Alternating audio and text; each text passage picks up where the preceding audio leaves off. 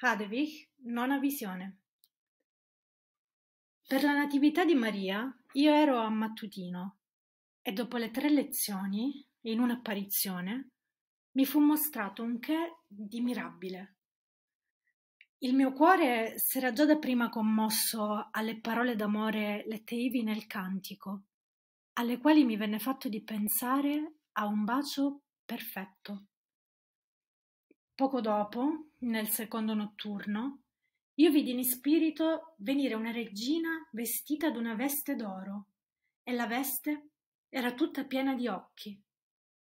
E tutti quegli occhi erano penetranti ogni cosa, come fiamme di fuoco, e tuttavia simili a cristallo.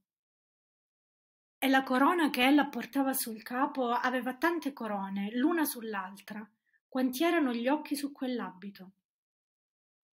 Il numero lo udirete quando lo dirà lei stessa. Innanzi alla regina venivano tre fanciulle, una con uno splendido abito rosso e tra le mani due trombe, e soffiò in una di esse e disse Chi non ascolta la mia donna sarà sordo eternamente nella beatitudine e non udrà né mai vedrà l'eccelsa melodia e i prodigi dell'amore violentatore. E l'altra tromba cantando diceva Chi vuole va per le vie che intende Madonna sarà potente in virtù del regno d'amore.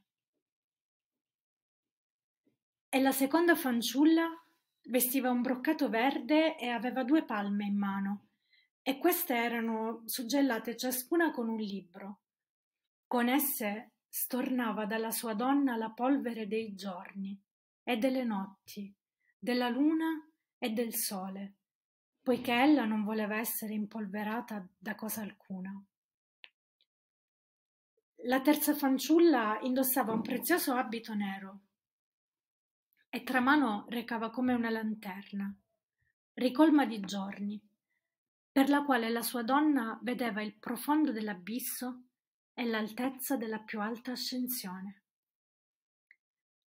La regina venne a me, violenta e veloce, e mi posò il piede sul collo e gridò con una voce terribile e disse Sai tu chi sono io? E io dissi Sì, certo, tu mi hai torturata e tormentata lungamente.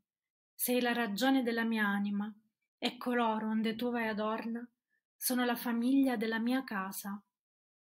Colei che con la tromba cantava e il mio sacrosanto timore, che mi ha scrutata sulla perfezione di ogni sorta d'amore.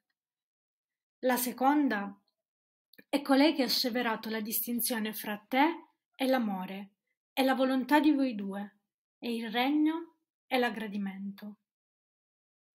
La terza è la sapienza, per la quale io confessai la potenza e le opere che tu compi per forza d'amore per essa confessai Dio, solo Dio, e Dio in tutte le cose Dio, in ogni cosa come Dio, quando nello Spirito io vi sono unita. Allora dissi, qual nuova tu ora mi arrechi? Ed ella disse, sì, tu sei ornata di questo manto d'occhi, d'onore celeste tu m'hai vestita. Degli occhi il numero è mille, numero intero di ogni virtù il fuoco degli occhi, ciascuno fornito di conoscenza d'amore, la cristallinità degli occhi, smarrita e smorta cento volte in sofferenza di conoscenza. E ciascun occhio della conoscenza dell'amore e della sofferenza aveva la sua corona, foggiata secondo un proprio disegno. Così aveva ogni occhio una corona, in segno di possanza. Allorché ragione così m'ebbe saziata, mi ingiunse di confessare il numero intero della mia compagnia, e io lo confessai bene. Allora ragione mi si fece soggetta, e io mi elevai su di lei. E venne amore, e mi abbracciò, e io uscii di spirito, e giacqui annegata sino a giorno alto, in indicibili prodigi.